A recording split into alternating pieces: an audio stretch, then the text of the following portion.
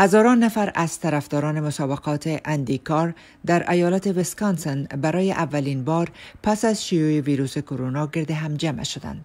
در آنجا پوشیدن ماسک تشویق شد اما نه به صورت اجباری.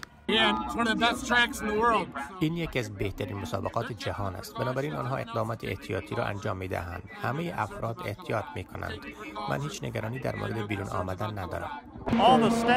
همه کارکنان رانندگان و همه ماسک پوشیدند اما فکر نمی کنم علاقمندان مسابقه زیاد به آن توجه کنند.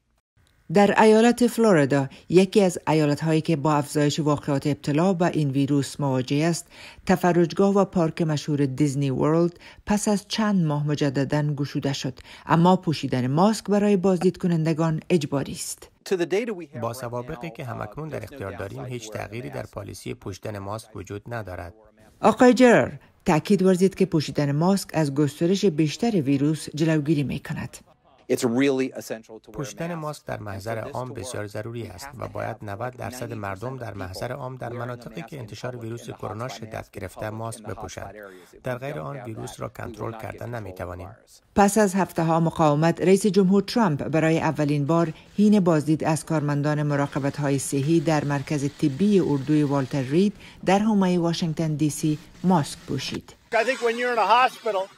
فکر می کنم وقتی در یک شفاخانه هستید و خصوص در جایی که با بسیاری از سربازان و افرادی صحبت می کنید که در بعضی موارد همان دقیقه از اتاق عملیات خارج شدند روز خوبی برای پوشیدن ماسک است. من هیچ وقت مخالف ماسک نبودم اما معتقدم که پوشیدن ماسک زمان و مکان دارد. در همین حال بوریس جانسون صدر اعظم بریتانیا در حال محدودیت های جدیتری را در سراسر آن کشور اعلان کرد که سکاتلند پوشیدن ماسک در مغازه ها را اجباری ساخت. پوشیدن ماسک بله ما به طور فزاینده فکر می کنیم که باید در اماکن مختلف در سیستم ترانسپورت عامه و در مغازه ها پوشیدن ماسک باید حتمی باشد.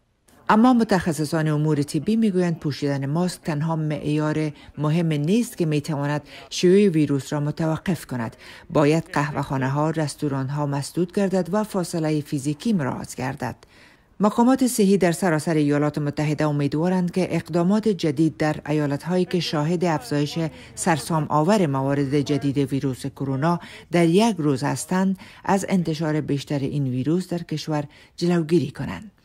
نجیب خلیل تلویزیون آشنا صدای امریکا واشنگتن.